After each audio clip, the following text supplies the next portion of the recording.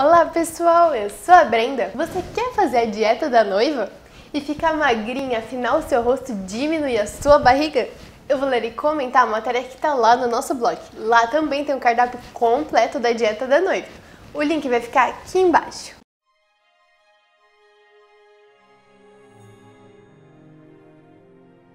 Se você está prestes a subir no altar, veja essas 10 dicas para você perder barriga agora, ainda hoje ou fazer no seu dia especial. Contagem regressiva 10. 10. Comer bastante comida vai deixar a barriga maior, né não? É, ué. 9. 9. Evite ficar inchada. Os alimentos industrializados e sal são ricos em sódio e podem inchar a sua barriga. Não, nada a ver, irmão. 8. 8. Corra neste dia dos alimentos que formam os gases e, portanto, deixam a barriga mais pontuda como por exemplo o feijão. 7. 7. Evite certas ações que possam introduzir o gás no seu estômago, como por exemplo comer depressa, falar nas refeições, beber de canudinho e etc. É, tá bom. 6.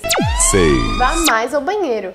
O intestino preso vai deixar a barriga maior, então beba pela manhã um copo de suco de limão natural para soltar o seu intestino. Você tá falando sério? 5.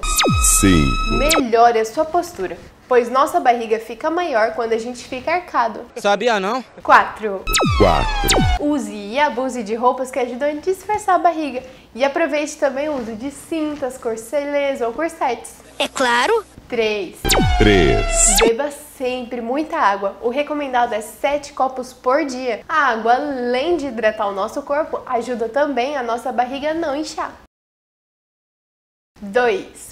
2. Para melhorar a circulação e evitar o inchaço, mantenha os seus pés elevados sempre que você deitar ou sentar. What? E um, 1. consumir os alimentos diuréticos, pois esses vão ajudar você a urinar mais e assim eliminar os líquidos que estão retidos.